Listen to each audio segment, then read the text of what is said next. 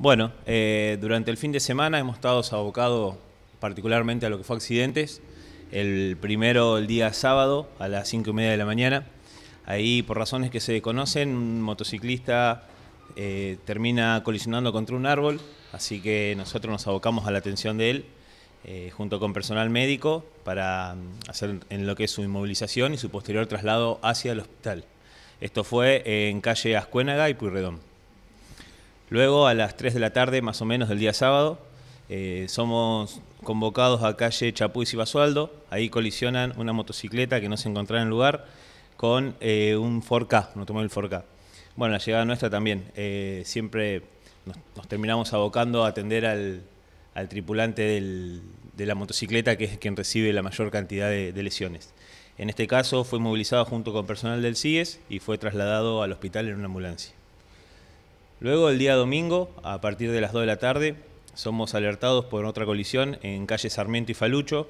Ahí colisionan un automóvil Peugeot 405 contra una motocicleta Guerrero 110.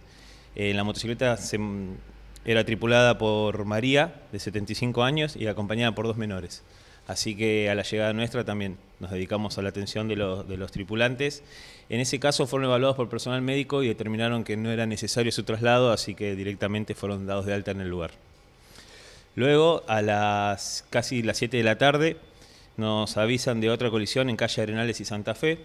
Ahí colisiona un automóvil Meriva, que era conducido por Juan Carlos, y una motocicleta Yamaha 150 que era tripulada por Jorge.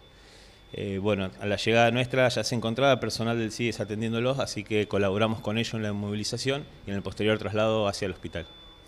En el día de hoy, a las 8 y 20 de la mañana, somos convocados en Perón y Falucho.